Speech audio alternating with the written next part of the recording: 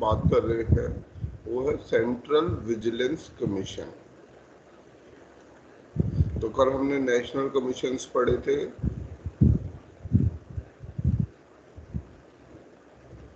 S C S T backward classes national commission for children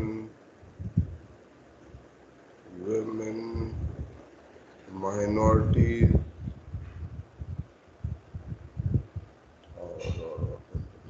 और यही थे इसमें से कॉन्स्टिट्यूशनल कौन से हैं और स्टैचुरी कौन से हैं?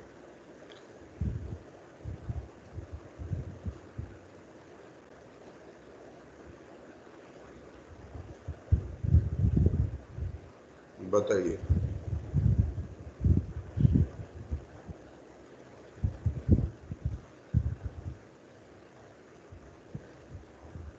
जो कल हमने कमीशन पढ़े थे उन कमीशन में से कॉन्स्टिट्यूशनल कमीशन कौन से हैं?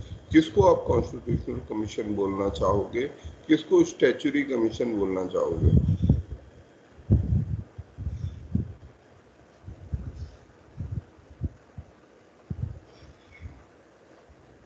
Sir S C S T और बैकवर्ड uh, क्लासेस वाला जो है वो कॉन्स्टिट्यूशनल बॉडी है। ओके। okay. और बाकी? बाकी का नाम भी नेशनल कमीशन है। ये क्या है? स्टैट्यूटरी बॉडी स्टैचुरी बॉडी अब इसका मतलब क्या होता है? एक बार समझाओ सबको सुंदरा दोनों में डिफरेंस क्या हुआ? सर याद नहीं आ रहा। याद नहीं आ रहा। अरे आपने बताया सही बताया है। इसको एक्सप्लेन याद करने की ज़रूरत क्या है? इसमें याद करने को कुछ है थोड़ी? बताया आपने सही? ऐसा हम्म, हम्म। हाँ, ऐसा कमीशन या ऐसा बॉडी जो और मूल संविधान में लिखा गया हो तो वो कॉन्स्टिट्यूशनल बॉडी होगा। स्टैट्यूटरी बॉडी होगी जो बाद में रियलाइज़ किया गया कि इस तरह की बॉडी की भी आवश्यकता है और अमेंडमेंट के थ्रू उसे संविधान में डाला गया हो। नहीं बीसी कमीशन ओरिजिनल आप आरुल बताओ। सर ये स्टेचुरी बॉडी जो होती है वो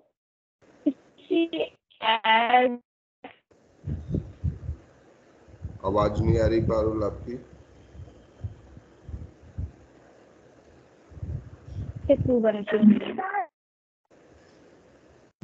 देखो दोनों में डिफरेंस एक ही है।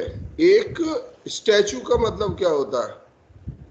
स्टैचू का मतलब समझेंगे तो अपने आप ये सवाल का आंसर कर देंगे। बस एक शब्द। इसलिए थोड़ा सा कभी इंग्लिश पे ज़्यादा मेहनत किया कीजिए। कहीं भी कोई शब्द आता है उसे इग्नोर मत करिए कम से कम जो की कीवर्ड्स हैं उनको इग्नोर मत करिए। कौन स्टैचू का मतलब पहले समझ लेते हैं। व्हाट इज़ स्टैचू कॉन्स्टिट्यूशन और कानून। लॉ ठीक है। तो स्टैचुरी का मतलब जो कानून से बना हो।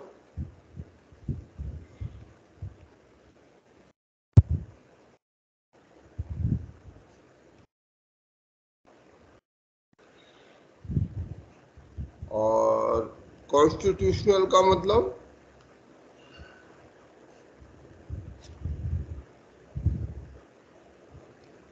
जो ये कॉन्स्टिट्यूशनल का मतलब संविधान, ठीक है कॉन्स्टिट्यूशन का मतलब तो संविधान होता है, यानी कि जो संविधान से बना हो। तो हमारे जितने ये बॉडीज जिनकी हमने बात की, या और भी बहुत सारे ऐसे प्रावधान हो सकते हैं, जिनका डायरेक्ट मेंशन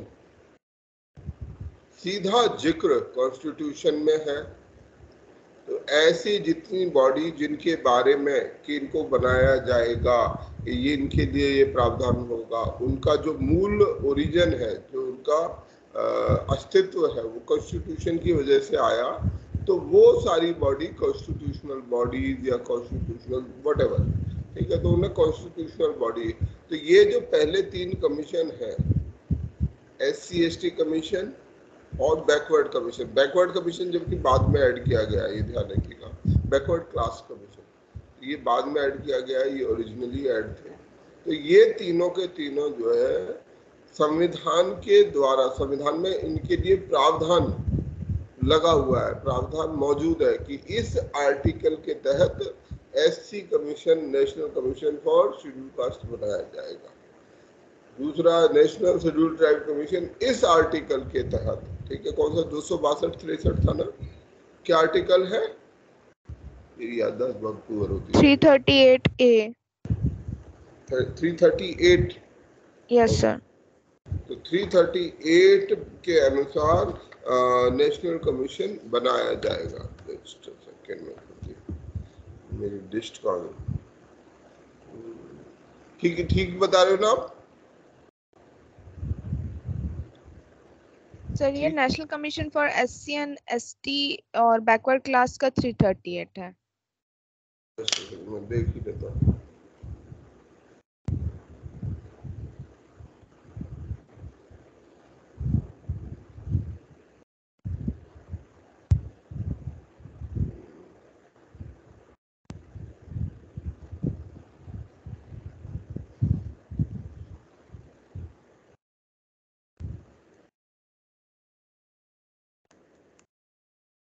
मुझे आर्टिकल याद नहीं है मेरा चल जाएगा।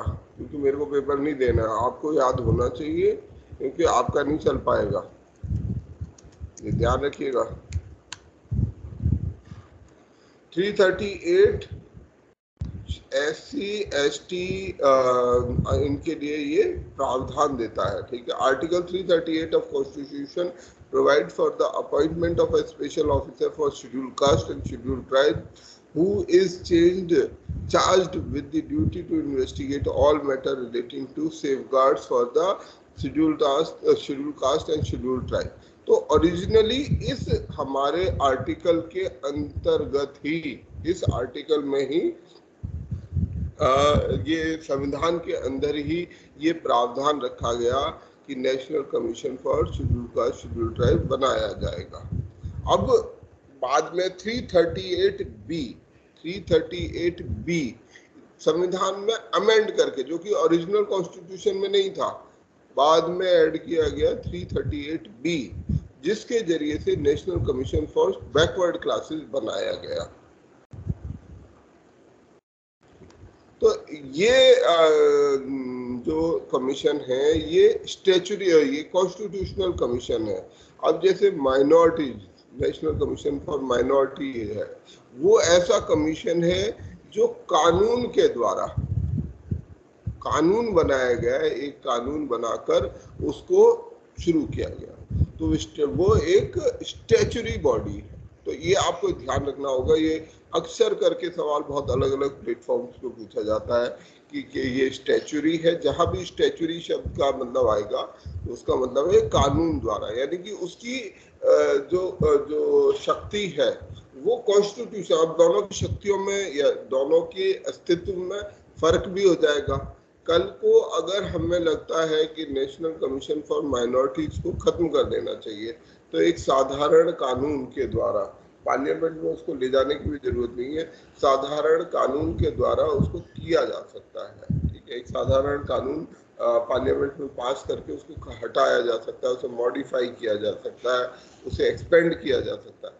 परंतु अगर एस सी कमीशन को में कोई बदलाव करना है तो उसके लिए आपको संविधान में परिवर्तन करना होगा, उसे अमेंड करना पड़ेगा। तो ये दोनों में फंक्शनल जो ऑपरेशनल डिफरेंस है, वो आ जाता है।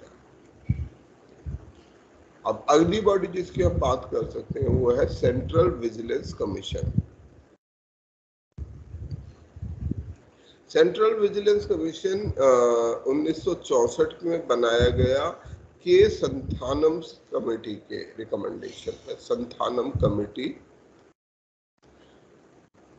जिसका उद्देश्य था सेंट्रल गवर्नमेंट मतलब भारत के अंदर जो विजिलेंस है, जो करप्ट एक्टिविटीज़ है, उनको कैसे रोका जाए? प्रिवेंशन ऑफ़ करप्शन के लिए के संथानम के द्वारा बनाई गई एक कमेटी के रिकमेंडेशन पर सीवीसी को बनाया गया।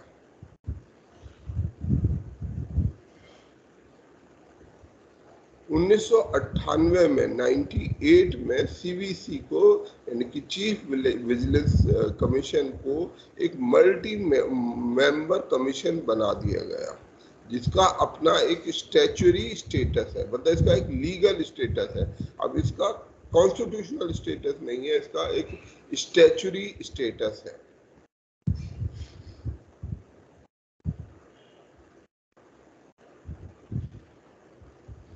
जो सीवीसी है विजिलेंस के लिए, यानी विजिलेंट होने का मतलब है करप्शन के लिए सतर्कता, ठीक है?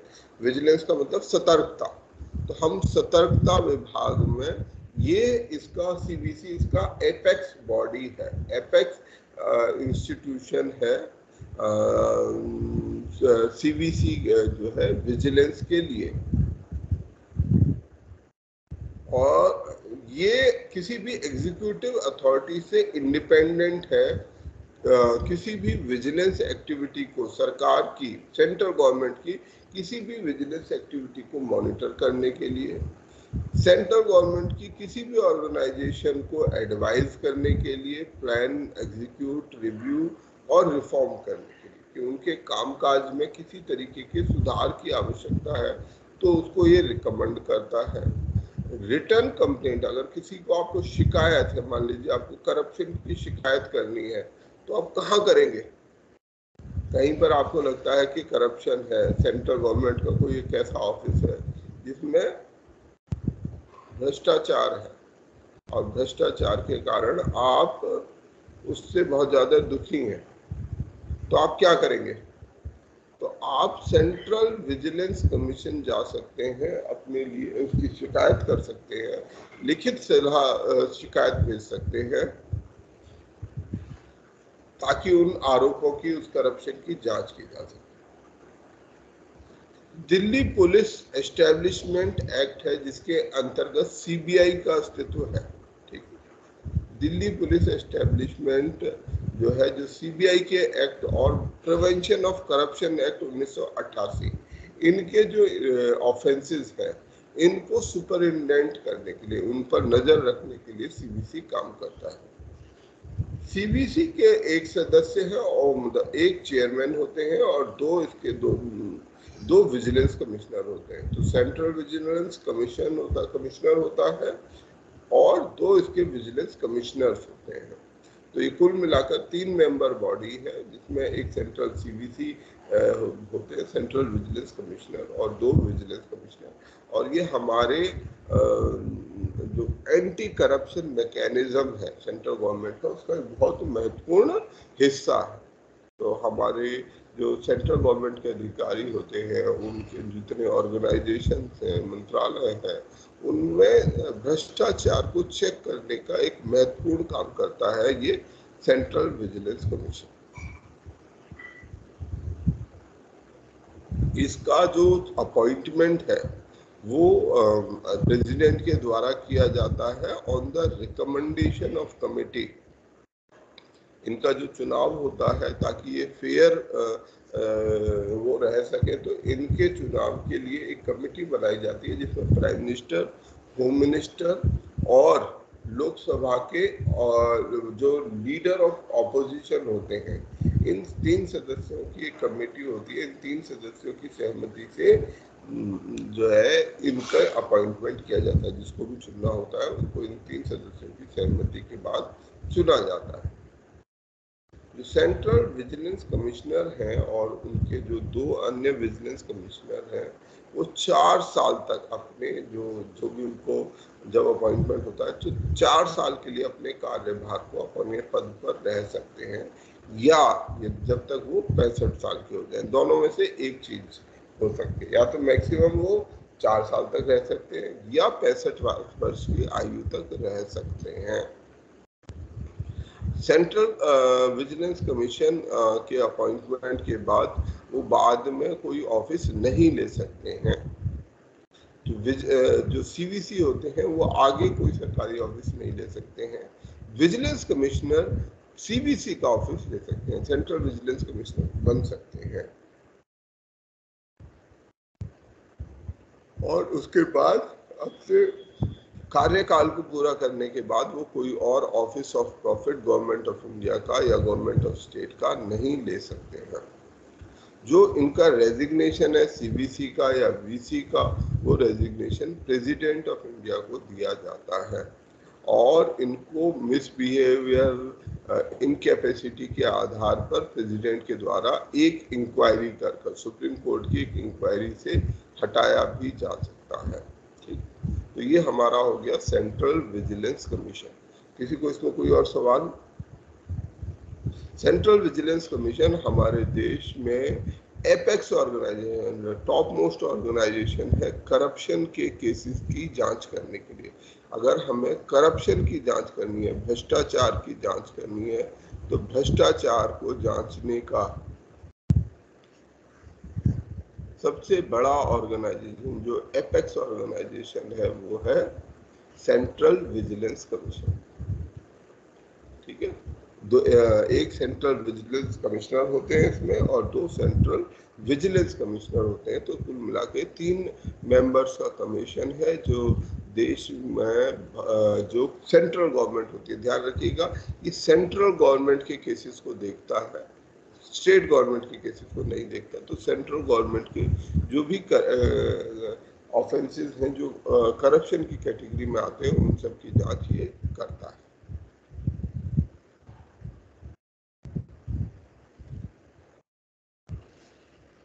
ओके okay, आगे बढ़े। अच्छा, yes, इसके बाद national legal service authority NALSA. हमने पहले दिन से बात की कि हमारे देश में जो कानून की प्रक्रिया है, वो बहुत लंबी है और महँगी भी है। तो और हम, हमारे जो शायद डीपीएसपी में भी इसका ज़िक्र मिलता है कि हम अपने लोगों को सभी को न्याय देंगे और फ्री लीगल सर्विसेज़ देंगे। ये हमारे अगर मुझे ठीक याद है तो डीपीएसपी में भी इसका ज़िक्र मिलता है। तो उसी काम को पूरा करने के लिए, क्योंकि अगर हमें न्याय देना है तो न्याय देने का ये मतलब नहीं है कि भाई आप न्याय दे अगर आपको न्याय चाहिए न्याय के लिए क्या करना पड़ेगा आपको?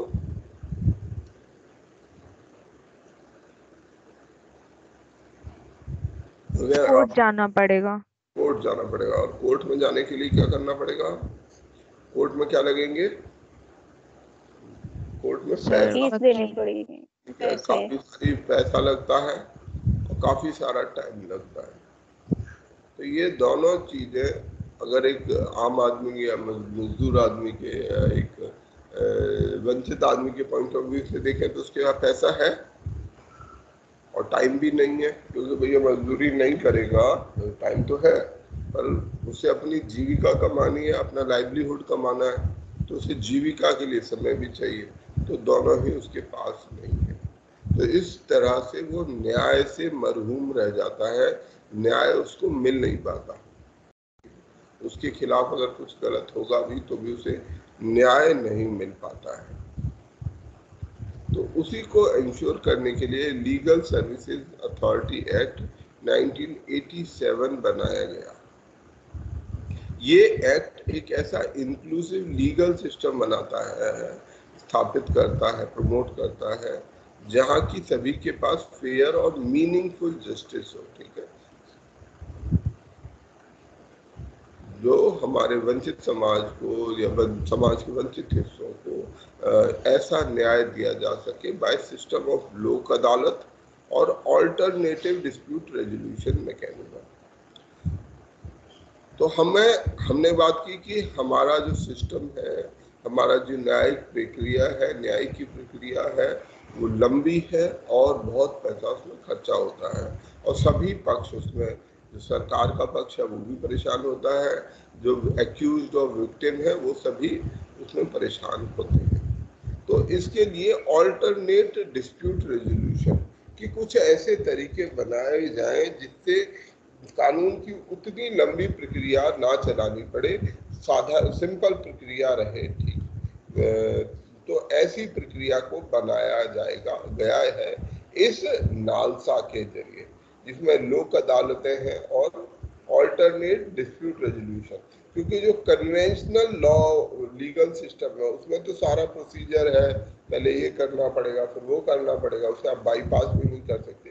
परंतु ऑल्टरनेट डिस्प्यूट रेजोल्यूशन मैकेनिज्म में आप कोई आदमी अपनी गलती मानने को तैयार है या किसी का किसी ने कोई नुकसान किया है, अब मैं आपसे कोई मुझे कोई कहता है ए व्यक्ति, बी व्यक्ति वो कहता है कि जिनने मेरा एक लाख रुपए का नुकसान कर दिया। जनरली लोग जब एफआईआर करते हैं, शिकायत करते हैं तो अपने नुकसान को बढ़ा चढ़ा कर कहते हैं। बी कहता है कि हाँ जी, मैं ये तो मानता हूँ आपसे मेरा नुकसान हो गया, मेरी गलती है, और मेरा नुकसान दस ही हज़ार रुपये का है। वो थोड़ा घटाकर बताएगा या कहेगा कि नहीं, मैंने नहीं कुछ किया। तो दोनों पक्षों में विवाद है। सामान्य न्यायिक कानूनी प्रक्रिया ये कहती है पूरा कोर्ट का केस चलना चाहिए, सारी प्रक्रिया होनी चाहिए, और उसके बाद जज साहब को ये फैसला करना चाहिए कि एक्चुअली में कितना नुकसान हुआ और उस नुकसान की दूसरा पक्ष भरपाई करे। अब इसमें नुकसान क्या है? कि पहले तो इतनी लंबी प्रक्रिया चलेगी।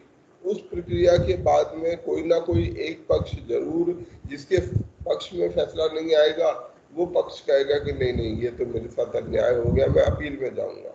फिर वो हाई कोर्ट जाएगा, सुप्रीम कोर्ट जाएगा, जिससे हमारे देश में नंबर ऑफ़ केसेस बढ़ते जाते हैं।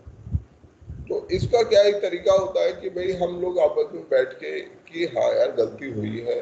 बीवी कह रहा है कि हाँ मैं अपनी गलती मानता हूँ, मुझसे गलती हुई है और मैं इस पूरे प्रोसेस से बाहर निकलना चाहता हूँ। पर मेरी गलती एक लाख रुपए की नहीं है। मेरी गलती थोड़ी थोड़ी है, छोटी है। तो मैं इसको हर जाना देने को तैयार हूँ। वो कहता वो कहता कि ठीक है, मैं तुम्हें बीस हज़ार रुपये दे दूँगा। आप मेरे ऊपर से केस हटा लो ये पक्ष भी कहता है कि ठीक है यार, इतनी लंबी कानूनी प्रक्रिया में कौन जाएगा? अब मेरा नुकसान होना था, हो गया। ठीक है, ये अपनी गलती मान रहा है और कुछ कंपनसेट भी कर रहा है। मैं एग्री कर लेता हूँ। और दोनों मिलजुल कर अपना फैसला कर देते हैं, जिससे वो लंबी प्रक्रिया को खत्म किया जा सके। तो इसी तरीके का ये मैकेनिज्म होता है, जिनमें लोक अदालतें या जैसे फैमिली कोर्ट्स हैं। डाइवर्स के बहुत सारे केसेस चलते रहते पति पत्नी है, आपस में संबंध ठीक नहीं है, अलग रहना चाहते तो ऐसे बड़े सारे केसेस हैं, जो हमारी अदालतों में चलते हैं। तो उन सबको कैसे जल्दी त्वरित न्याय, उनको तुरंत न्याय दिलवाया जाए, इसके लिए ये काम करते हैं।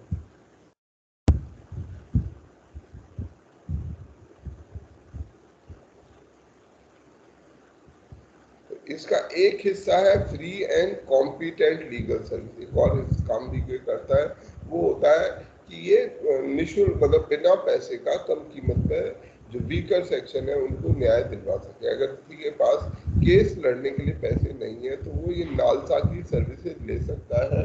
नालसा के द्वारा उसको वकील मुहैया कराया जाएगा।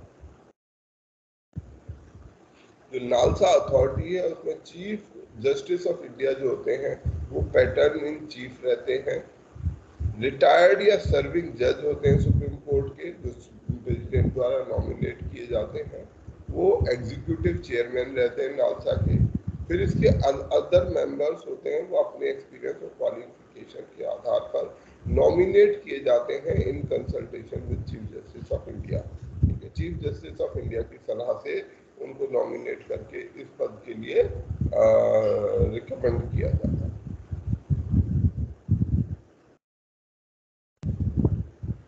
इसके अलावा ये एक मेंबर सेक्रेटरी बनाए जाते हैं इसमें। इनका जो फ़ंक्शन है, इनका जो काम है, वो है जो वंचित तबके हैं weaker section of the society हैं, उनके लिए इफ़ेक्टिव और इकोनॉमिक इकोनॉमिकल स्कीम बनाई जाए, ऐसी योजना बनाई जाए, जिससे जो वंचित तबके के लोग हैं, उनको न्याय मिल सके लीगल सर्विसेज़ उनको मुहैया हो सके। सोशल जस्टिस लिटिगेशन जैसे कंज्यूमर प्रोटेक्शन के कानून है एनवायरमेंट प्रोटेक्शन के कानून है other matter of special concern है, इनके लिए ज़रूरी काम किए जाए सोशल जस्टिस लिटिगेशन मतलब ऐसे कुछ विषय होते हैं जो किसी के व्यक्तिगत नहीं होंगे, ठीक है? परंतु फिर भी वो बड़ा कंसर्न है। उदाहरण के लिए जैसे हमारे एनवायरमेंटल प्रोटेक्शन के कानून है। अब एनवायरमेंट का जो नुकसान है, वो हम सबको होता है। किसी एक को नहीं होता तो इसकी वजह से हम उसके बारे में कंसर्न नहीं है। मैं क्यों शिकायत करूँ? वहाँ पर धुआँ, वो गाड़ी बहुत धुआँ फैला रही है, वो फैक्ट्री बहुत धुआँ फैलाती है। मैं क्यों शिकायत करूँ? ये तो सभी को धुआँ तो सभी को जा रहा है। और सभी लोग मतलब हर कोई ये सोचेगा कि मैं क्यों इसकी शिकायत करूँ? पर ऐसे केस में फिर क्योंकि जब कोई केस नहीं लड़ेगा तो ऐसे में शायद वो एनवायरमेंटल प्रोटेक्शन का जो आ, काम है वो अधूरा रह जाएगा। ऐसे ही कंज्यूमर प्रोटेक्शन है। कोई दुकानदार है वो आपको चीट कर रहा है। मिनिमम रिटेल प्राइस पे चीज़ें ना बेचकर एक दो रुपये महँगी बेच रहा है। अब मान लो कोई दो रुपया महँगी चीज़ बेच रहा है आप दो रुपये महँगी चीज़ के लिए अदालत नहीं जाओगे, कोर्ट नहीं जाओगे। क्योंकि आपको भी पता है यार, आपके पास टाइम मनी नहीं आप झुंझला के वहीं रह जाओगे। परंतु ऐसे ही सामूहिक जो सोशल जस्टिस के लिटिगेशन है, ऐसे जो कॉमन इश्यूज़ वाले लिटिगेशन है, उनके लिए भी ये नालसा काम करता है। वो सोशल वर्कर्स को इस क्षेत्र में ट्रेन करता है, ताकि वो न्याय को प्रमोट कर सके। लीगल सर्विसेज़ के केस में वो रिसर्च को प्रमोट करता है। हमारा जो फंडामेंटल ड्यूटीज़ है कि लोग ज़्यादा से ज़्यादा अपने मौलिक कर्तव्यों के प्रति जागरूक बने और उनका पालन करें। जैसे जो बात मैं भी आप लोगों को इंसिस्ट करता रहता हूँ कि हमें अपने मौलिक कर्तव्यों के प्रति भी जागरूक बनना चाहिए। खाली ऐसा नहीं होना चाहिए कि हम अपने मौलिक अधिकारों की बात करते रहे कि हमें जी ये नहीं मिल रहा, हमें वो नहीं मिल रहा। हम अब उतने ही ज़ोर शोर से अपने मौलिक कर्तव्यों के प्रति भी जागरूक बने। ये काम भी वो करता है, ठीक है। लीगल एड प्रोग्राम तरह तरीके की सहायता कार्यक्रम, कानूनी सहायता के कार्यक्रम है, उनके लिए काम करता है। ग्रांट इन एड देता है सोशल सर्विस इंस्टीट्यूशंस को ऐसी संस्थाएँ जो इस क्षेत्र में काम कर रही हों, उनको ग्रांट्स देता है। बार काउंसिल ऑफ़ इंडिया के साथ मिलकर ऐसे लीगल एजुकेशन सुपरविजन इसको प्रमोट करता है। यूनिवर्सिटी लॉ कॉलेज और इंस्टीट्यूशन में लीगल सर्विस क्लिनिक जहाँ पर लीगल सर्विस को बढ़ावा दिया जा सके, उनके लिए काम करता है। वॉलेंट्री सोशल वेलफेयर इंस्टीट्यूशन को सपोर्ट करने का काम करता है, जो ग्रास रूट लेवल पर schedule caste schedule tribe women rural and urban level के लिए काम कर रहे हैं। कोऑर्डिनेट करता है state authority, district authority, supreme court, legal service committee, इन सभी के कामों को आपस में कोऑर्डिनेट करता है। Supreme court legal service committee के संबंध में है, जो इसकी सेंट्रल अथॉरिटी है, जिसको, जो इस नालसा के लिए सेंट्रल अथॉरिटी है। Supreme court legal service committee state legal service authorities हैं, जिसमें कि चीफ जस्टिस होते हैं। तो नेशनल लीगल सर्विस अथॉरिटी हो गया, ये हो गया state legal service authority. State legal service authority है, जिसमें कि chief justice of high court है। हाई कोर्ट के चीफ जस्टिस के पैटर्निंग चीफ होते हैं। इसमें रिटायर्ड जज या हाई कोर्ट के सर्विंग जज होते हैं, जो एग्जीक्यूटिव चेयरमैन के तौर पर काम करते हैं गवर्नर के तौर पर गवर्नर के द्वारा नॉमिनेट किए जाते हैं। इसमें मेंबर सेक्रेटरी होते हैं, और जो स्टेट लीगल सर्विस अथॉरिटीज के भी वही काम है, जो नालसा हमारे लिए काम करती है तो जो NALSA central authority, central government में काम करती है, वही काम स्टेट अथॉरिटी में ये स्टेट लीगल सर्विस अथॉरिटी करती है। इसके अंदर में जो सहायता के लिए high court legal service committee होती है। वहाँ पर supreme court legal service committee है यहाँ high court legal service committee है? फिर इसके अलावा तीसरे स्तर पर डिस्ट्रिक्ट लीगल सर्विस अथॉरिटी है। तो ये तीन स्तर पर काम कर रहे हैं, NALSA national legal service authority state legal service authority and district legal service authority तो डिस्ट्रिक्ट के लेवल पर भी ये काम करते हैं और स्टेट गवर्नमेंट इनको नियुक्त करती है chief justice of high court की सलाह के साथ। जिसमें कि डिस्ट्रिक्ट जज इसके चेयरमैन बनते हैं। अन्य सदस्य अपनी एक्सपीरियंस क्वालिफिकेशन के हिसाब से और चीफ जस्टिस की राय के अनुसार नॉमिनेट किए जाते हैं।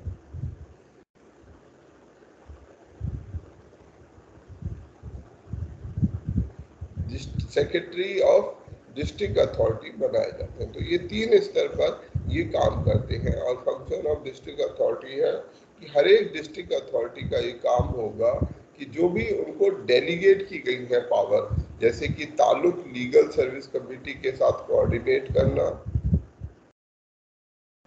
लोक अदालतों को ऑर्गेनाइज करवाना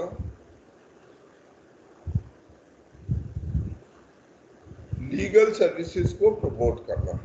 और इसके बाद तालुक लीगल सर्विस है जो तालुक लेवल पर या मंडल लेवल पर काम करता है। तो ये हमारा नालसा का बेसिक स्ट्रक्चर हो गया। नालसा हमारा चार लेवल पे के काम करता है। National legal service authority state legal service authority district legal legal service authority और अंत में तालुक लीगल सर्विस अथॉरिटी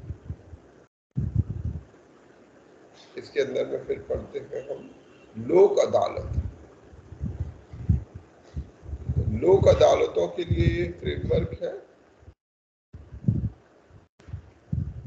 जो ताल्लुक लेवल की जो लीगल सर्विस अथॉरिटी है, वो हर एक उसके साथ मिलकर ये डिस्ट्रिक्ट लेवल की जो अथॉरिटी है, या supreme court legal service committee के साथ मिलकर, या ताल्लुक लीगल सर्विस कमेटी के साथ मिलकर लोक अदालतों का आयोजन करवाती है, जिसमें कि सर्विंग या रिटायर्ड जुडिशियल ऑफिसर उसके सदस्य होते हैं।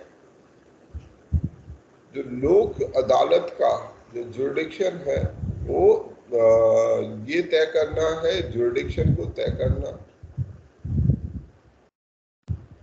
और एक कॉम्प्रोमाइज सेटलमेंट दोनों पक्ष के बीच में एक सहमति के लिए, एक सेटलमेंट के लिए बात करना, जिससे कि उस डिस्प्यूट को, किसी भी पेंडिंग डिस्प्यूट को सुलझाया जा सके। और ऐसा कोई भी मामला जो इसके जुडिक्शन में आता हो, क्योंकि लोक अदालत के अपना जुडिक्शन डिफाइंड है तो जो उसके जुडिक्शन में आता हो, वो उन केसेस में नहीं जाता जो किसी दूसरे कोर्ट के समक्ष हो। परंतु जो इसके अपने जुडिक्शन में आते हैं तो ऐसे सारे केसेस में ये फैसला करने का फैसला करवाने का काम करते हैं। ऐसे केसेस में काम नहीं करते जो नॉन कंपाउंडेबल ऑफेंसेस होते है।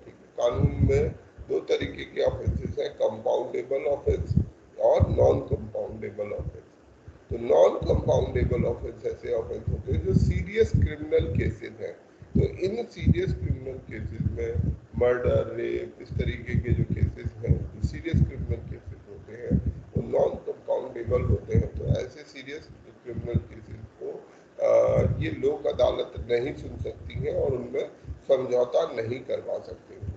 साधारण तरीके के जो केसेस हैं, जो साधारण कंपाउंडेबल क्रिमिनल केसेस हैं, केवल ये उनके लिए काम कर सकते हैं। क्यों नहीं हम समझौता करवा देते? जैसे सीरियस केसेस में नॉन कंपाउंडेबल केसेस में अगर समझौता हो तो क्या दिक्कत है? दो पक्ष है। बहुत करके ये आम घटना है कि रेप रेप के केसेस में दोनों पक्ष किसी वजह से, लड़की किसी भी कारण से महिला है, वो अपनी शिकायत को वापस लेना चाहती है। तो उसको जो जब केस आगे चल रहा है तो उसको वो शिकायत वापस लेने से वो अलाउड नहीं है। क्यों नहीं होता ऐसा? क्यों वो लड़की और जो जो एक्यूज है, वो समझौता कर लेते किसी तरह से? तो हमें क्या शिकायत होनी चाहिए? सर वो प्रूव हो जाता है ना कि ऐसा हुआ है तो वो नहीं करने देते हैं। मान लो एक रेप केस हुआ और वो वो कहे कि ठीक है, मैं आपको एक लाख रुपए का हर्जाना देने को तैयार हूँ। तो क्या करना चाहिए? गरीब परिवार परिवार की लड़की है और वो हुआ, वो कहता है कि ठीक है, मैं एक लाख रुपए देने के लिए तैयार हूँ। तो समझौता कर लेना चाहिए।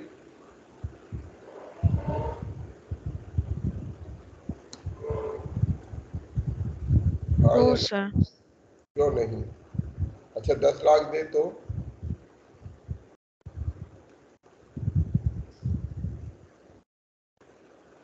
एक बहुत गरीब सर यहाँ पर तो फिर वो खरीदा जा रहा है ना जो आ, जिसके साथ ऐसा हुआ है जो विक्टिम है उसको। ओके ओके करेक्ट खरीदा जा रहा है। तो यहाँ पर बेसिकली आइडिया यही होता है कि जो अपराध है ठीक है? अपराध को आप खरीद नहीं सकते हो। जो अपराध है नंबर एक तो बात ये है कि इट डज नॉट मीन कि वो विक्टिम अगर मान लो विक्टिम तैयार हो भी जाए है ना मान लेते एक सिचुएशन है कि दस लाख रुपए दे रहे हैं और विक्टिम कहती है कि ठीक है जी मैं तैयार हूँ मुझे कोई दिक्कत नहीं है। हाँ मेरी ज़िंदगी वैसे ही बहुत खराब है दस लाख रुपए में तो मेरे लिए बहुत जो है आ, मेरी ज़िंदगी अच्छी हो जाएगी। तो ऐसे केस में अगर विक्टिम भी तैयार हो जाए तब क्या करना चाहिए? और उसमें क्या दोष है? विक्टिम को पता है कि अब मेरी आर्थिक परेशानी है। मैं तैयार हूँ। सर इसमें तो फिर कोर्ट का टाइम वो वेस्ट हुआ ना? अब चलो वेस्ट हुआ तो हुआ। ठीक है कम से कम एक केस तो कम होगा।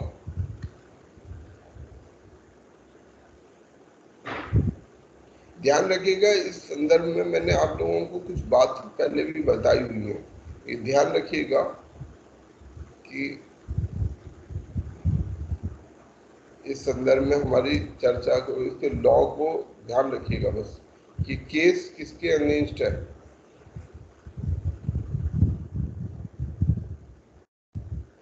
बताइए, सवाल का जवाब मुझे आप लोगों से चाहिए। मान लीजिए एक हाइपोथेटिकल सिचुएशन है हाइपोथेटिकल नहीं बहुत, भारत देश में तो बहुत आम होती रहती है। एक अपराधी है, उस अपराधी ने किसी महिला का किया और बाद में, केस वेस हुआ उसमें केस कर दिया कोर्ट कचहरी हो गया। बाद में वो उसको प्रस्ताव देने लगा कि ठीक है, आप पैसे ले लो और जो है अपने केस को वापस ले लो। या समझौता कर लो। तो ऐसे में इस चीज़ को समझौता को कैसे देखा जाना चाहिए? क्या ये समझौता किया जा सकता है? नहीं किया जाना चाहिए। इससे और उन्हें बढ़ावा मिलेगा। किया नहीं जाना चाहिए ठीक है। अगर लीगली देखें तो इसे कैसे देखा जाएगा? कानूनी तौर पर। कानूनी तौर पर मैंने आपको ये बताया था कि इस तरीके के जितने क्रिमिनल केसेस होते हैं वो होते हैं स्टेट वर्सेस जो भी एक्यूज होता है। इनमें विक्टिम नहीं आती है पिक्चर में विक्टिम अपना केस नहीं लड़ती है। स्टेट लड़ता है। कोई मर्डर का केस होगा स्टेट लड़ेगा। तो जो अपराध हुआ है, वो इस महिला के खिलाफ तो हुआ ही हुआ है, पर ये ओवरऑल पूरी सोसाइटी के खिलाफ है। जो आपने एक बात कही ना, इससे और बढ़ावा मिलेगा। वो एग्जैक्टली exactly ये बात है। हमें ये अपराध ऐसे लगते हैं कि रेप का अपराध या मर्डर का अपराध, ये व्यक्तिगत अपराध नहीं होते हैं। ये होते किसी व्यक्ति के खिलाफ हैं, पर ये व्यक्तिगत अपराध नहीं होते हैं। ये अपराध सामूहिक हैं, ये हमारी पूरे समाज के साथ होते हैं, समाज के खिलाफ होते हैं ये अपराध। जो रेप हुआ, वो एक लड़की का नहीं हुआ है।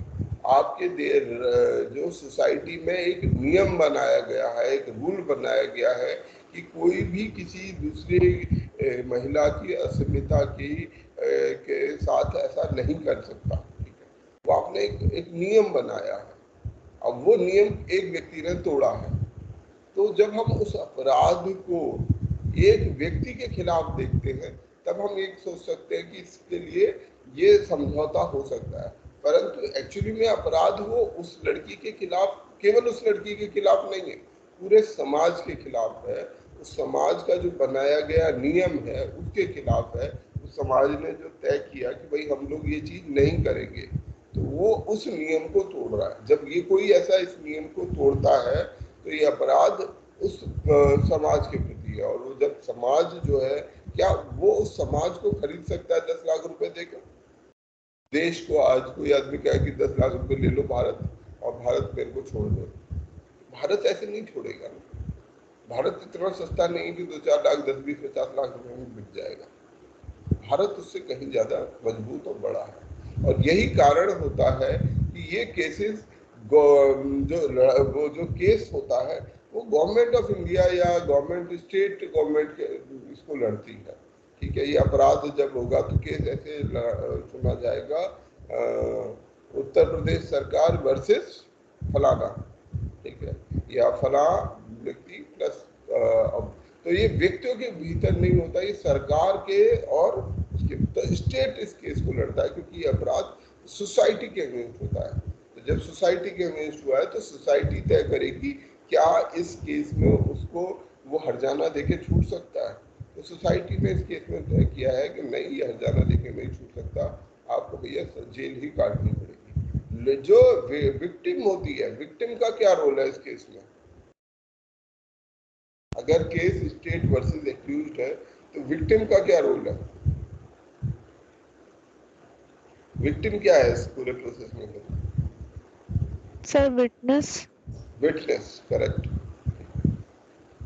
ये विक्टिम है जिसने उस अपराध को होते हुए देखा है।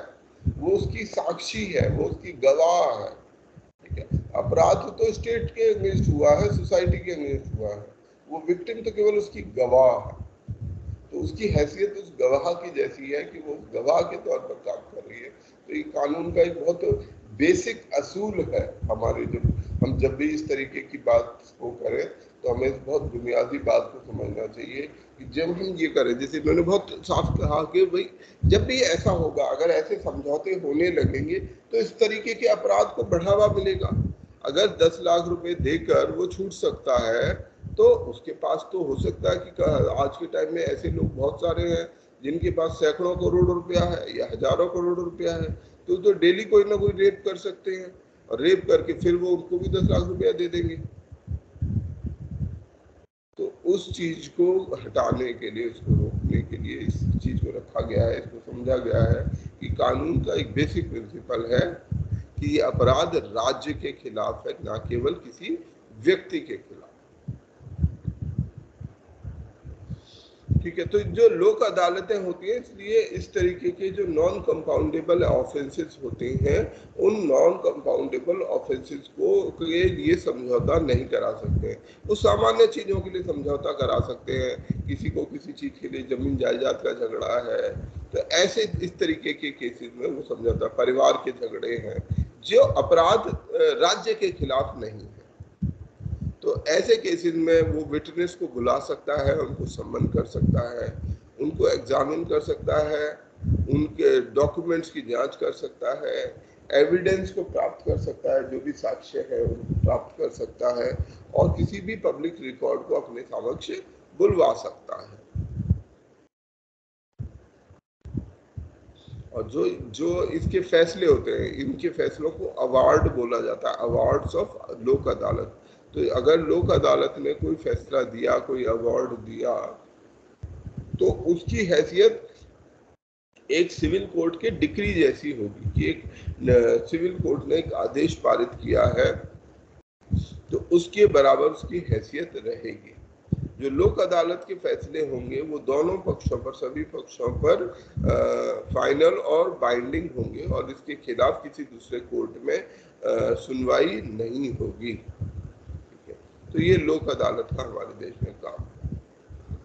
अच्छा आगे बढ़ते हैं। एक बॉडी है जिसका नाम है quality council of India quality council of India उन्नीस में बनाई गई जो हमारे इंडस्ट्रीज़ के एसोसिएशन है, जो औद्योगिक एसोसिएशन है। उनके द्वारा ये क्वालिटी काउंसिल ऑफ़ इंडिया बनाई गई, जिसमें एसोचेम इसकी फुल फॉर्म है associated chamber of commerce and industry of India किसी को ना पता हो तो लिख लेना। C I I that is confederation of Indian industry और FICCI that is federation of Indian chambers of commerce and industry FICCI. तो ये तीन बॉडीज हैं। इन्होंने मिलकर एक सेटअप बनाया गवर्नमेंट ऑफ़ इंडिया के से के साथ मिलकर।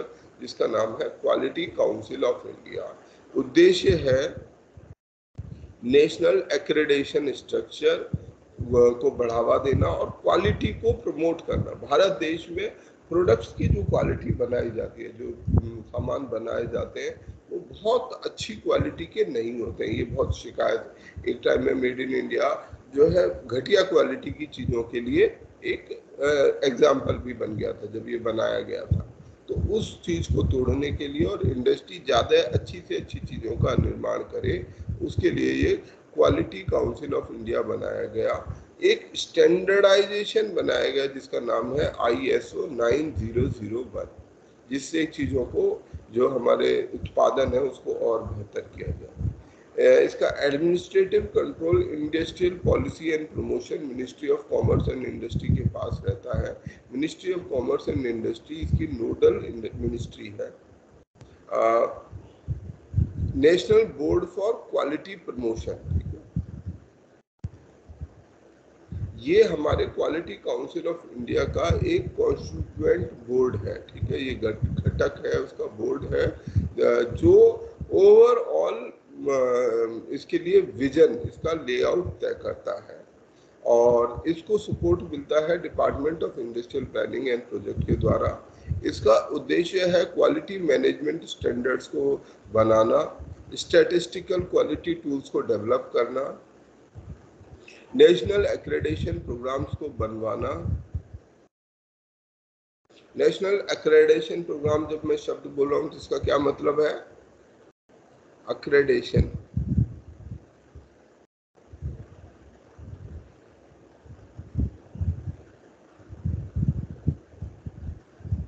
हाँ जी अक्रेडेशन का मतलब?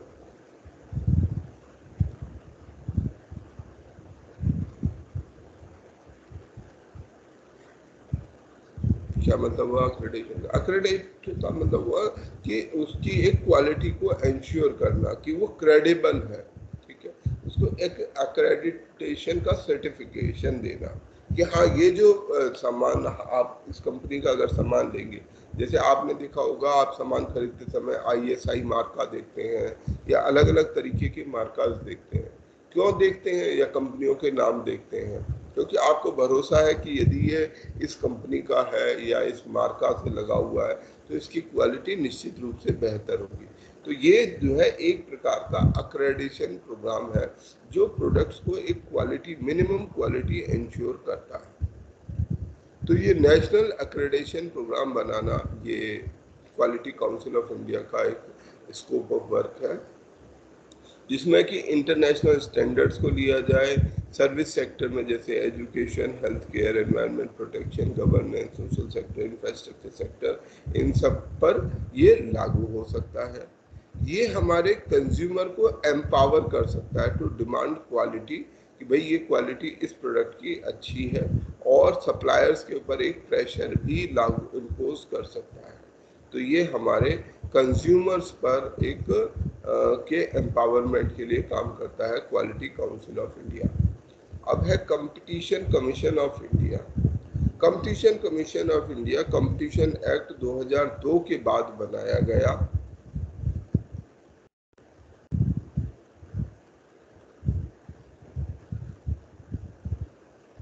इसने रिप्लेस किया एमआरटीपी एक्ट उन्नीस सौ उनहत्तर को।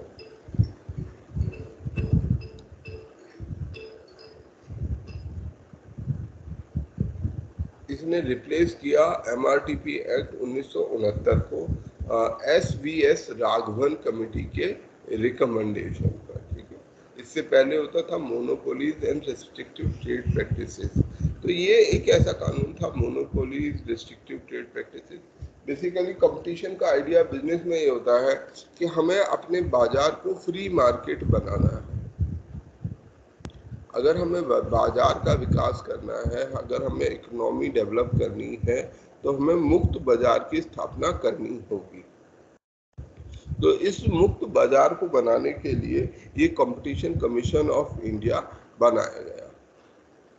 पहले, इससे पहले monopolies and restrictive trade practices act होता था, जिसके अंतर्गत कोई भी व्यक्ति अगर कोई मोनोपोलिस्टिक काम कर रहा है तो उसको रोका जाता था। परंतु वो एक्ट कहा जाता था कि वो काफ़ी हार्श था, बहुत ज़्यादा मतलब दंडकारी था। उसमें किसी भी दूसरे व्यवसाय को आगे बढ़ने का मौका नहीं था। क्योंकि ठीक है मोनोपोलीज नहीं होने चाहिए ट्रेड रेस्ट्रिक्शन नहीं होने चाहिए, परंतु कंपटीशन होना चाहिए। अगर कंपटीशन नहीं होगा तो भी हम आगे नहीं बढ़ पाते हमारे आगे बढ़ने के लिए बाज़ार के अंदर में कंपटीशन का होना अनिवार्य है।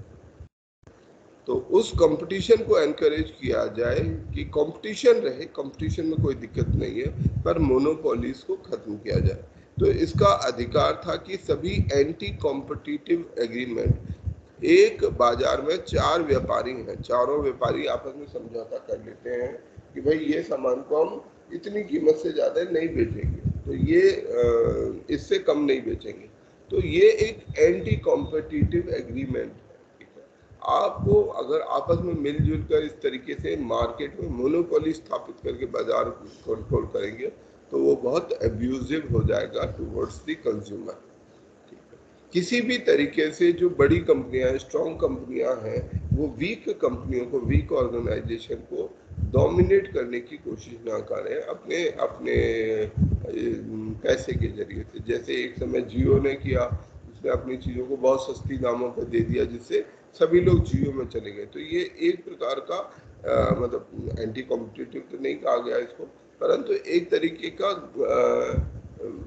गलत व्यापारिक तरीका है। इसके अलावा मर्जर और एक्विजिशंस को रेगुलेट करना, ये भी इसी का काम है। ऐसी प्रैक्टिसेस को जो कंपटीशन को नुकसान पहुँचाने वाली प्रैक्टिसेस है, उनको रोकना। बाज़ार में कंपटीशन को प्रमोट करना, बाज़ार में कंज्यूमर के अधिकारों को प्रमोट करना और फ्रीडम ऑफ़ ट्रेड को इंश्योर करना, ये सब काम हमारे इसके होते हैं कंपटीशन कमीशन ऑफ़ इंडिया के होते हैं। इसके सदस्य इसमें एक चेयरपर्सन होते हैं और दो से लेके छः अन्य सदस्य हो सकते हैं इसके अंदर। कम से कम दो और ज़्यादा से ज़्यादा छह सदस्य इसके अंदर हो सकते हैं। इनका selection chief justice of India secretary in ministry of corporate affair secretary in ministry of law and justice इनकी राय पर, इनकी एक कमेटी होती है, उनकी राय पर इनका चयन होता है। इनके पास स्पेशल नॉलेज होनी चाहिए एक्सपीरियंस होना चाहिए इंटरनेशनल ट्रेड इकोनॉमिक्स बिज़नेस इन सब का विशेष अनुभव होना चाहिए। The chairperson and the member shall hold office ये अपने पाँच साल के लिए अपने इस ऑफ़िस में रहते हैं। एक बार चुन लिए जाने के बाद पाँच साल के लिए काम कर सकते हैं। इनको सेंट्रल गवर्नमेंट एक नोटिस देकर इनको रिमूव भी कर सकती है।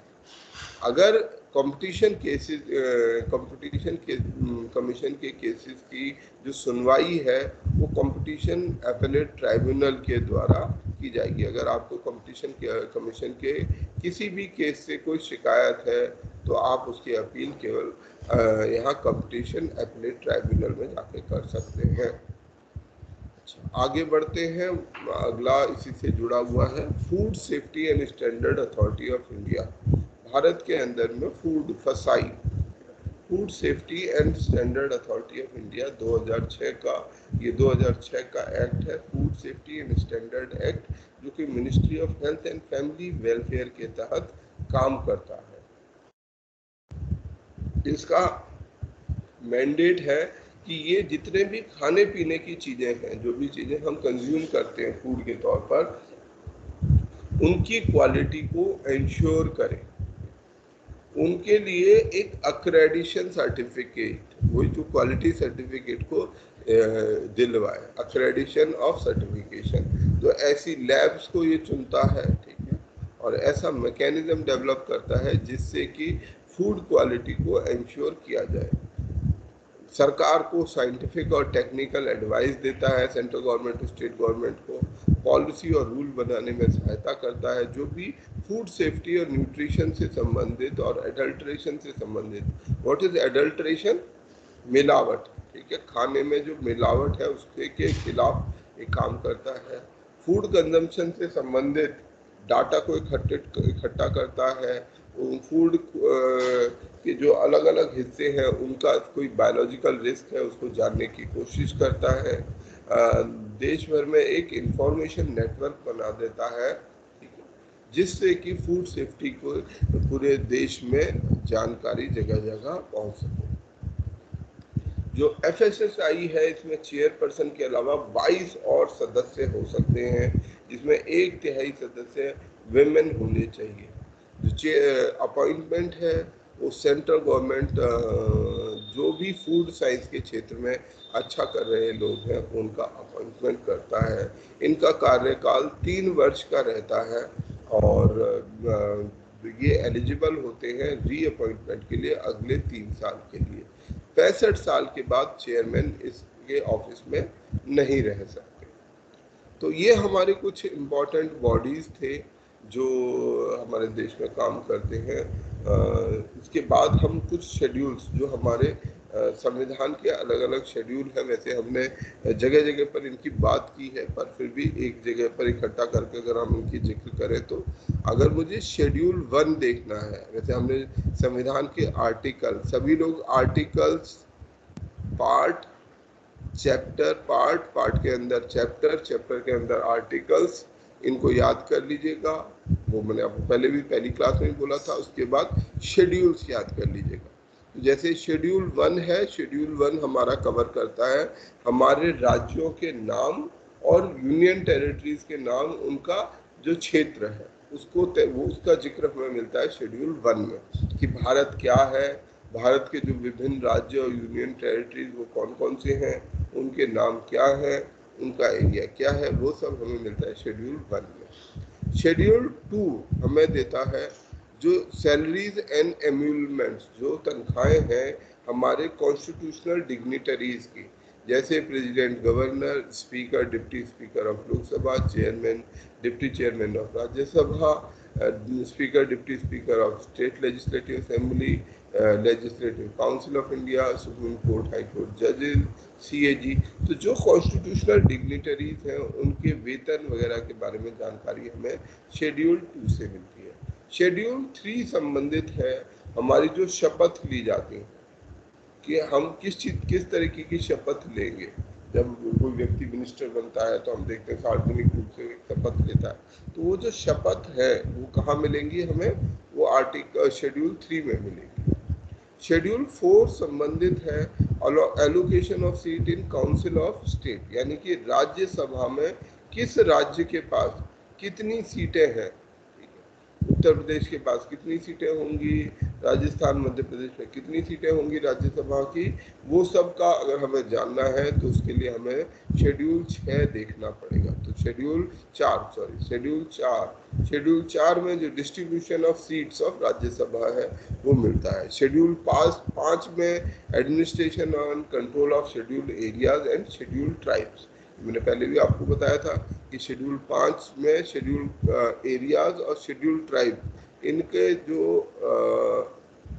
एडमिनिस्ट्रेशन और कंट्रोल है, उसके बारे में जानकारी मिलती है कि शेड्यूल एरियाज़ कौन से हैं, उन्हें कैसे चलाया जाएगा, और ट्राइबल ट्राइब्स एडवाइजरी काउंसिल इसके बारे में शेड्यूल फाइव में ज़िक्र मिलता है। शेड्यूल सिक्स है, जिसके अंदर में administration of tribal areas in states of Assam, Meghalaya, Tripura and Mizoram. AMTM, AMTM, ठीक है. असम मेघालय त्रिपुरा मिजोरम इनमें ये जो ट्राइबल एरियाज़ हैं उनका एडमिनिस्ट्रेशन कैसे होगा और वहाँ पर डिस्ट्रिक्ट काउंसिल रीजनल काउंसिल कैसे काम करेंगी इसका ज़िक्र हमें शेड्यूल छः में मिलता है. शेड्यूल सात जो हमारे लिस्ट है, जो काम का विभाजन है हमारे देश में, कि यूनियन लिस्ट में क्या चीज़ें रहेंगी यूनियन के क्षेत्राधिकार क्या है स्टेट का क्षेत्राधिकार क्या है कंकरेंट लिस्ट क्या है मतलब कानून बनाने के के कंसर्न में संसद की और जो विधानसभा है राज्य, राज्यों की, उनकी क्या क्या क्षमताएँ हैं। शेड्यूल एट है, जिसमें हमारी 22 भाषाओं का ज़िक्र मिलता है। इसके बाद शेड्यूल नाइन है, ये ये ये बाद में ऐड किया गया शेड्यूल है। शेड्यूल नाइन पहला अमेंडमेंट था और इस शेड्यूल नाइन के ज़रिए से ऐसा स्कोप रखा गया कि ये इसकी बैकग्राउंड है कि इसको क्यों लाया गया। जो हमारा पहला अमेंडमेंट था उसने शेड्यूल नाइन को इंट्रोड्यूस किया। संविधान का जो पहला संशोधन था, वो यही था शेड्यूल नाइन को लाना। और ये आर्टिकल 31 ए 31 बी आर्टिकल 31 क्या है? Right of property right of property ठीक है? तो जो राइट ऑफ़ प्रॉपर्टी उस समय फंडामेंटल राइट हुआ करता था। तो राइट टू प्रॉपर्टी के अंदर में दो आर्टिकल जोड़े गए आर्टिकल 31 ए और 31 बी जिसका उद्देश्य था कि यदि जमींदारी के संबंध में कोई कानून बनाया जाएगा तो इसे किसी कोर्ट ऑफ़ लॉ में चैलेंज नहीं किया जा सकता। तो ये जो शेड्यूल नाइन जो है, ये एक विशेष शेड्यूल है, जो उस यदि कोई कानून यहाँ रखा गया है तो वो जुडिशियल रिव्यू जो सुप्रीम कोर्ट की जो शक्ति है जुडिशियल रिव्यू की। कि वो किसी भी कानून का, संविधान के किसी भी हिस्से का, अगर कोई भी अमेंडमेंट लाया जाता है, कोई कानून लाया जाता है उसको री एग्जामिन कर सकती है, ये देख सकती है कि क्या ये कानून जो है न्याय सम्मत है संविधान सम्मत है। तो ये शेड्यूल नाइन है, जिसके अंदर जो कानून रखे गए हैं, वो कानून इस जुडिशियल रिव्यू के प्रोसेस से बाहर निकल जाते हैं। यानी कि यदि कोई कानून यहाँ मैंशनड है तो उस कानून को कोर्ट ऑफ़ लॉ में चैलेंज नहीं किया जा सकता even though they violate fundamental rights even अगर वो फंडामेंटल राइट्स को वायलेट कर रहे हों तब भी उनको अगेंस्ट हम कोर्ट नहीं जा सकते ये इसका आ, वो है कारण। दो, 2007 में इससे संबंधित स्टेटस को, को बदला गया था। 1973 के बाद ये कहा गया कि जो सब इसमें, इसके अंदर जो भी 1973 के बाद जो भी शेड्यूल नाइन में ऐड होगा, उसे जुडिशियल रिव्यू किया जा सकता है। सुप्रीम कोर्ट उसको रिव्यू कर सकती है। अगर वो बेसिक स्ट्रक्चर को, क्योंकि केशवानंद भारती केस में केश बेसिक स्ट्रक्चर डॉक्टर दिया गया, और ये कहा गया कि संसद के पास ये शक्ति नहीं है कि उस जो हमारा संविधान है उसके बेसिक स्ट्रक्चर को चेंज कर सके। तो इसलिए क्योंकि वो उसको नहीं चेंज कर सकते तो अब जो है आज के समय में स्थिति ये है कि आ, कोई भी कानून जो बेसिक स्ट्रक्चर को जो 1973 के बाद बना हो और जो संविधान के बेसिक स्ट्रक्चर को बदलने की कोशिश करता हो उसको सुप्रीम कोर्ट रिव्यू कर सकता है। तो अभी के समय में जो जुडिशियल रिव्यू है, वो नौवें शेड्यूल का जुडिशियल रिव्यू हो सकता है, उन्नीस के बाद के केस शेड्यूल 10 है, जिसमें डिफेक्शन के लिए कानून लाया गया। डिफेक्ट करना मतलब दल बदलू। दल बदलने को डिस्करेज करने के लिए, क्योंकि भारत में दल बदल एक बहुत प्रेवलेंट चीज़ है, अभी भी होती रहती है। तो कुछ आधारों पर डिफेक्शन को, दल बदलने को डिसक्वालीफाई कर दिया गया कि अगर आप दल बदलते हैं तो आप डिसक्वालीफाई हो जाएँगे। वो इसके शेड्यूल सिक्स में परिस्थितियाँ दी गई कि किस किस परिस्थिति में आप डिसक्वालीफाई हो जाएँगे यदि आप दल बदलते हैं। केवल बहुत ही थोड़े केसेस रखे गए हैं जिसमें दल बदलने को अलाउ किया जा सकता है। शेड्यूल इलेवन है। इलेवन शेड्यूल इसमें जो है पंचायत की शक्तियों को, कि पंचायत के क्या क्या काम होंगे उनको यहाँ पर शेड्यूल ग्यारह में गिनवाया गया। और तिहत्तरवें कॉन्स्टिट्यूशनल अमेंडमेंट जिसने पंचायती राज को इंट्रोड्यूस किया, उसमें ये ग्यारहवा शेड्यूल बनाया। इसी तरह बारहवा शेड्यूल है, चौहत्तरवें अमेंडमेंट के बाद आया, जिसमें म्यूनिसपैलिटी की शक्तियाँ, कि म्यूनिसपैलिटीज के क्या क्या काम होंगे। तो जैसे स्टेट लिस्ट है सेंट्रल यूनियन लिस्ट है स्टेट लिस्ट है कंकरेंट लिस्ट है, ऐसे ही ये लिस्ट बनाई अब हमारे देश में कुछ महत्वपूर्ण अमेंडमेंट जो समय समय पर आते रहे हैं। पहला अमेंडमेंट एक्ट जैसा अभी हमने थोड़ी देर पहले बात किया, पहला अमेंडमेंट एक्ट आया, जिसने नौवे शेड्यूल को इंट्रोड्यूस किया। और ये कहा गया कि यदि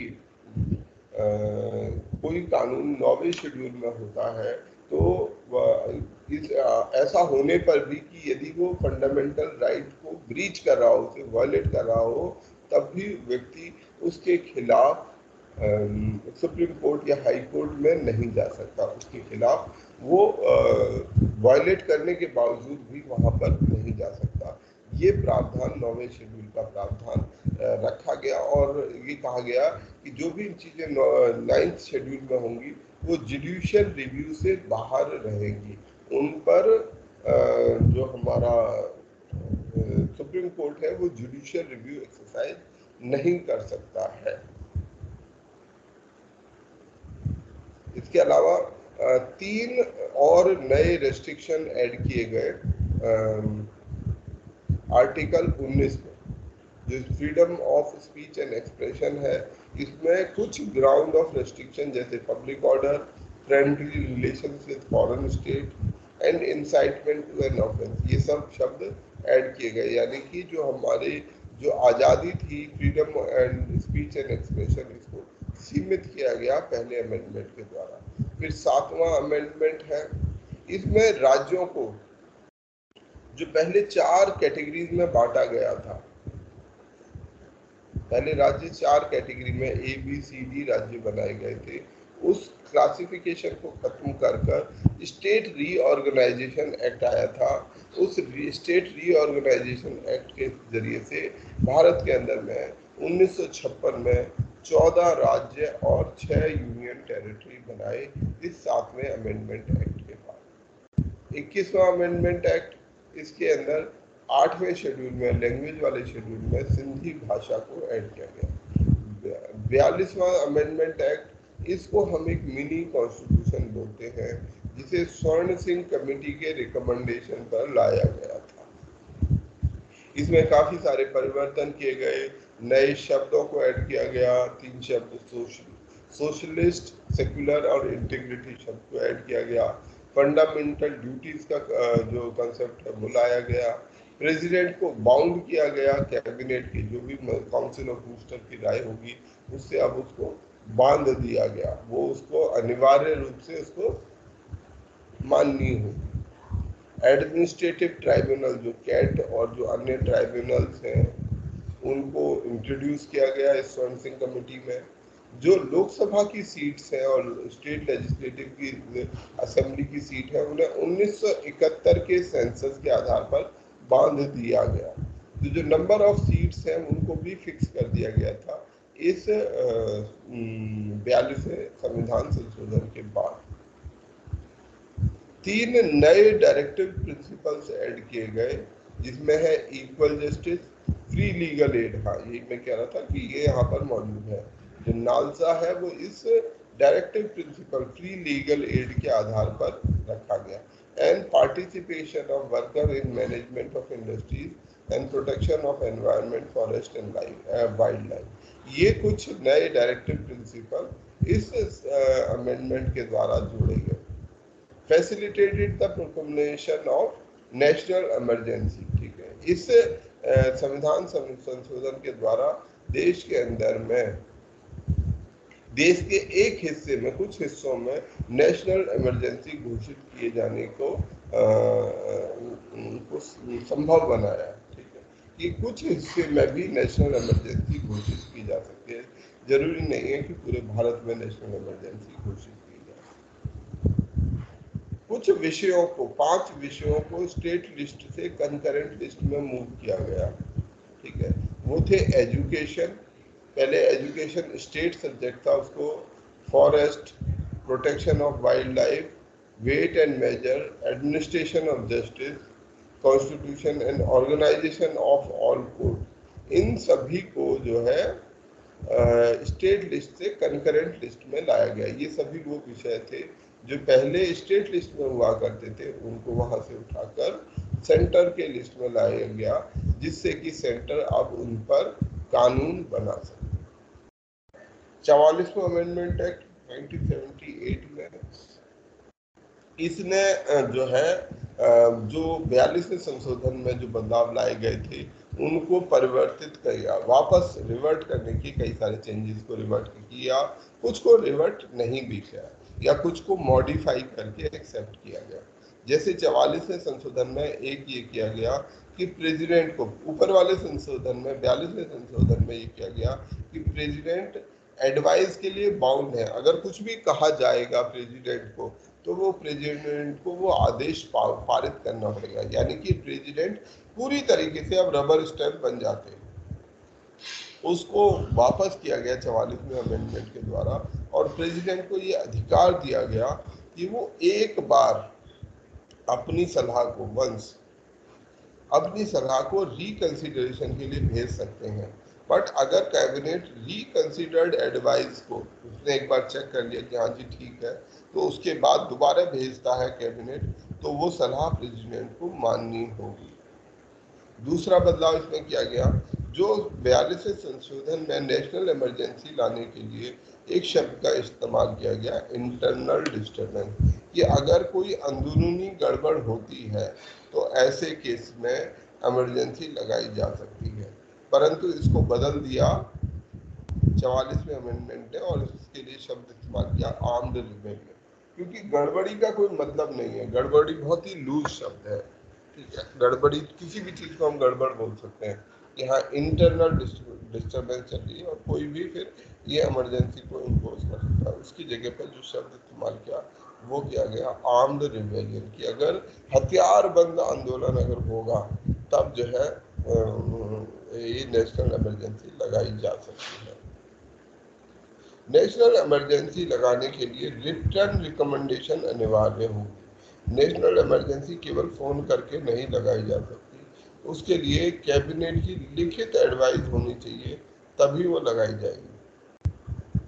राइट टू प्रॉपर्टी को फंडामेंटल राइट से हटा दिया गया और इसको केवल अब एक लीगल राइट बना दिया गया। इसके अलावा ये कह दिया गया कि आर्टिकल 20 और 21 सस्पेंड नहीं किए जा सकते, किसी भी स्थिति में सस्पेंड नहीं किए जा सकते even in the case of national emergency national emergency लागू होने पर भी जो फंडामेंटल राइट है लाइफ ऑफ़ पर्सनल लिबर्टी का, वो अधिकार लागू रहेगा। ये चवालीसवा संशोधन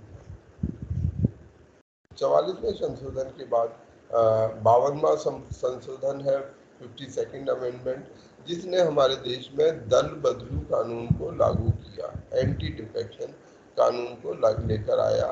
बयालीस, बावनवा अमेंडमेंट उसके और इसके ज़रिए से टेंथ शेड्यूल भी इंट्रोड्यूस किया गया। इकसठवा अमेंडमेंट जिसके द्वारा हमारी जो वोटिंग एज है, वो 21 साल से घटाकर 18 साल कर दी गई। अब जब हम 18 साल की वोट दे सकते हैं तो उसका कारण है ये इकसठवा अमेंडमेंट है। इकहत्तरवा अमेंडमेंट एक्ट जिसने कुछ नई भाषाओं को, जैसे कोंकणी, मणिपुरी और नेपाली भाषा को एट्थ शेड्यूल में जोड़ा। ऐसे ही सतासीवें अमेंडमेंट ने भी कुछ नए शेड्यूल भाषाओं को, संथाली, बोडो, डोगरी और मैथिली भाषा को एटी सेवन अमेंडमेंट एक्ट में जोड़ा।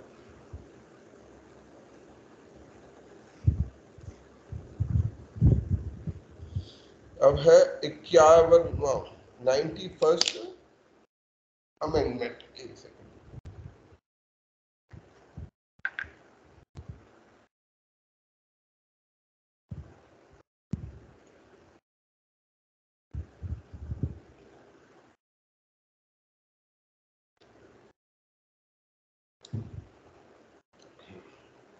हम्म, तो ये नाइन्टी फ़र्स्ट अमेंडमेंट है जिसके द्वारा एंटी डिफेक्शन एक्ट को और मज़बूत किया गया। ठीक है, इसमें ये प्रावधान बनाया गया कि जो भी दल बदलू लोग होंगे, उनको पब्लिक ऑफ़िस से डीबार किया जाए। वो किसी भी दूसरे पब्लिक ऑफ़िस में उनको नियुक्त नहीं किया जा सकता। अन्य प्रावधान लाए गए कि किस तरीके से डिफेक्शन को कम किया जाए। ये तय किया गया कि जो मिनिस्टर्स हैं नंबर ऑफ़ जो काउंसिल ऑफ़ मिनिस्टर होती है चाहे स्टेट की या लेजिस्लेचर की, उसमें पंद्रह परसेंट से ज़्यादा सदस्य मेंबर मिनिस्टर नहीं बन सकते। पहले लगभग एक समय ऐसा था जब बहुत सारे लोगों को, सौ, डेढ़ सौ लोगों को भी मिनिस्टर बना दिया गया। एक समय तक अब मतलब ज़्यादातर लोगों को मिनिस्टर बना देते थे। कुछ भी उठ उठपटांग मिनिस्ट्री बना के उनको मिनिस्टर का दर्जा दे देते थे।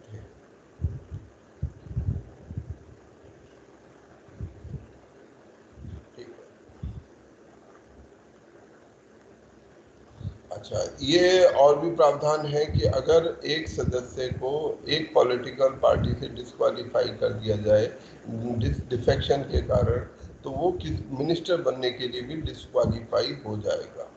तो ये सारे प्रावधान अलग अलग प्रावधान रखे गए, जिनके द्वारा हमने अपने एंटी डिफेक्शन कानून को और मज़बूत किया गया, और इसके लिए हमने नाइन्टी फ़र्स्ट अमेंडमेंट लेकर आए।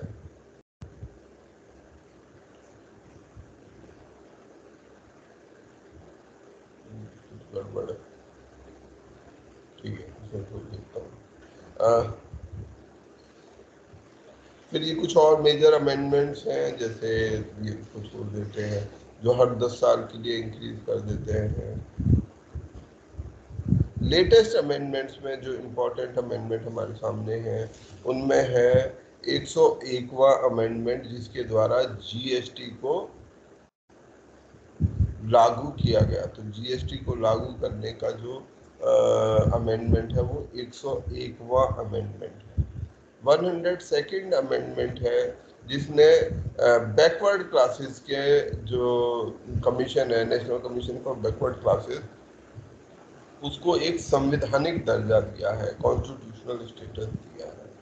130 अमेंडमेंट ये भी इम्पोर्टेंट अमेंडमेंट है, जिसके द्वारा 10 percent reservation economic weaker section को दिया गया। तो एक तो ये 101वां जिसने जीएसटी को बनाया और 130 अमेंडमेंट जिसने कि ten percent reservation economic weaker section को दिया है। तो ये एक और अमेंडमेंट है जो लाया गया।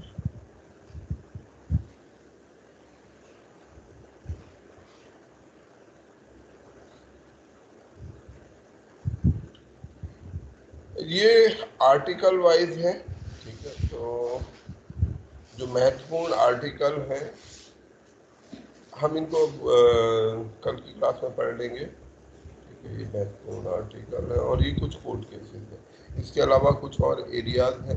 तो लगभग पॉलिटी को मैं यहाँ पर ख़त्म करूँगा।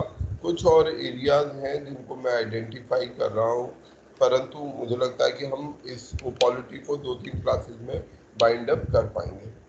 और उसके बाद क्या क्लासेस की जाए? या बंद की जाए क्लासेस मेरे ख्याल से क्लासेस को बंद सर ज्योग्राफी ज्योग्राफी के लिए ज्योग्राफी तो मैं भी नहीं पढ़ा पाऊँगा। और मैं ढूंढ नहीं पाया किसी को। देखता हूँ अगर ज्योग्राफी रिवीजन रिवीजन करेंगे हम इस ब्रेक के बाद। एक महीने का ब्रेक लेंगे ठीक है? और कब पेपर है आपका? Five June five June fifth June को ओके तो ऐसा करेंगे कि हम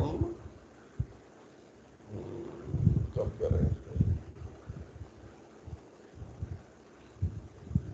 ठीक है उसके लिए अलग प्लान बनाएँगे ठीक है रिवीजन के लिए। ये रिवीजन करने पर पहले आप लोग रिवाइज करो। अगर आप रिवाइज नहीं करोगे तो मैं कोई रिवीजन नहीं करूँगा। क्योंकि आप लोग पढ़ते तो हो नहीं याद करते नहीं आपका याद सर अभी सर छः या आठ मई को एग्ज़ाम है मेरा बीपीएससी का। वेरी गुड अच्छे से देखे आओ ऑल द बेस्ट पास होना है। थैंक यू सर सभी लोग अच्छे से दे ठीक है। आ, मैं कल क्लास करके फिर क्लास को कुछ दिन के लिए ब्रेक देंगे। फिर पंद्रह दिन के बाद शुरू करेंगे रीस्टार्ट करेंगे रिविजन मोड में।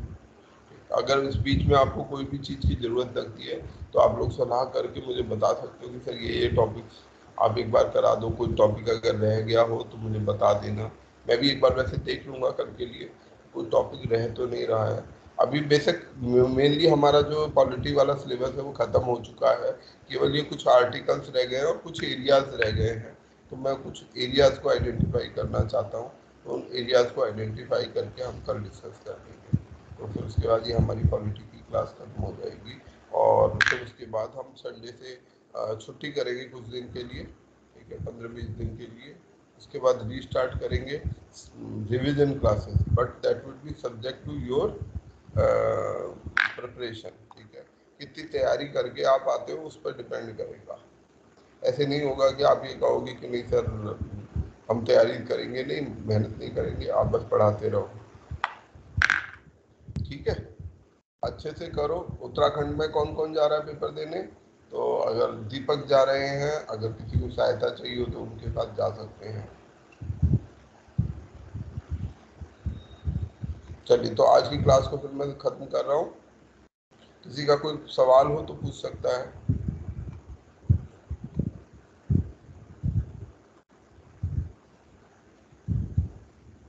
सर एंशियंट हिस्ट्री भी करवाएँगे क्या? एंशियंट हिस्ट्री एक सर है मैंने उनसे बात की थी पर तुम लोग क्लास ही इस तरीके से करते हो कोई आता नहीं है तो फिर मुझे अच्छा नहीं लगा उनको कहते हुए। पता चला मेरे को और आप लोग इंसल्ट करवाओगे। कि आपके स्टूडेंट आएँगे क्लास में? नहीं चंद्रा आपके आने से नहीं होता ना सबका आना ज़रूरी है। सबका पार्टिसिपेशन ज़रूरी है। क्लास सबसे चलेगी। है ना? खैर कोई बात नहीं मैं कर दूँगा उसको। एंशियंट की क्लास करनी है और क्या करना है बताओ? ज्योग्राफी ज्योग्राफी ज्योग्राफी और बस बाकी तो हो गया। ज्योग्राफी रह गया है और एंशियंट रह गया ठीक है। ठीक है देखता हूँ सर थोड़ा सी सेट के लिए हो जाता तो। सी सेट के लिए। यस सर सी सेट ठीक है, मैं कोशिश करता हूँ, एक सर है उनसे बात करता हूँ, अगर वो तैयार हो जाए। बट देखो, मैं अपने अलावा किसी और की गारंटी नहीं ले सकता हूँ। एक बात ध्यान रखना। क्योंकि तो अगर कोई कमेंट कर भी दे और बाद में गड़बड़ कर दे तो मैं जिम्मेदार नहीं रहूँगा।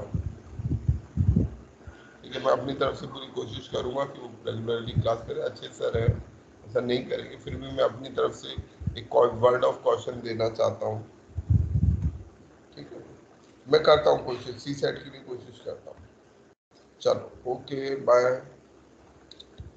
thank you sir bye bye thank you sir